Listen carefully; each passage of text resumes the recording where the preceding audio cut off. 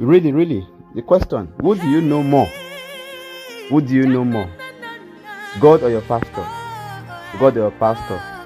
You know, so many times we are in deep, um, terrible situations, and the first person that comes to our mind is who we know most, most, or who we honor most in our lives. I'm not mising words, uh, and I'm carefully choosing my words.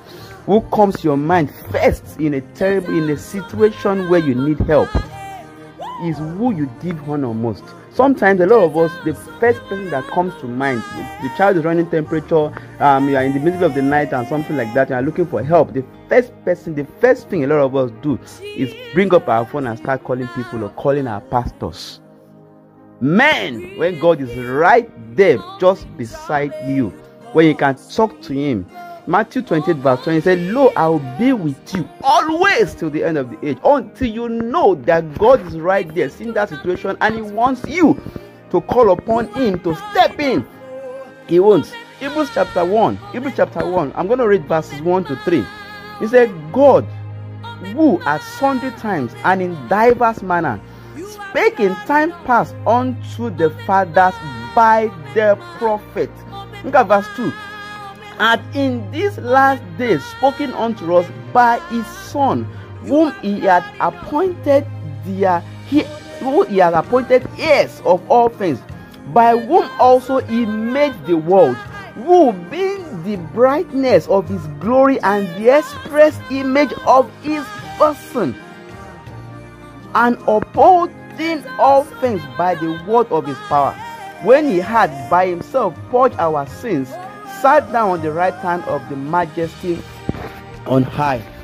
So, a lot of us cannot even go, you know, three sentences without saying, My pastor said, My pastor said. There's nothing wrong in what your pastor said.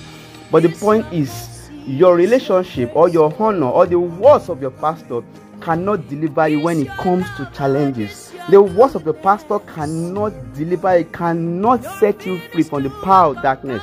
It's only the word of God. It's, and it is the relationship you have built over time that determines who you call upon. And if you are guilty, today you need to repent and begin to turn to God that God, you are sorry, you never knew. You need to study your what your pastor can do is to guide you and make you study your word, but you need to have a relationship. Your pastor cannot be the relationship, the, the mediator between you and God. Only Christ, and is our high priest, is the one that offers sacrifices for your sins. He is the sacrifice, is also the one offering, and is also the sacrifice himself. So he's done everything and always seated at the right hand of God the Father, making intercession for you. So every time you are in situations who you need to call upon is Christ. Your pastor, your pastor is not omnipresent. I'm not attacking pastor. Hope you get me. But I want you to focus on your relationship with your God, with your Father. Jesus Christ died for you. No other person died for you. No other person can stick closer than than than a friend. Than, than, than, than nobody can stick closer than Christ. You need to honor him. See him in every situation. He's there. He knows. The Bible says he's touched by the feelings of our infirmities. So he knows when you are worried. He knows when you are broken.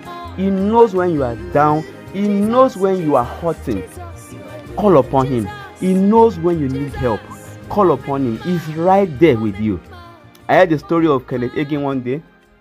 He said he saw Jesus Christ talking to him, and like a demon came and stood in between himself and Jesus.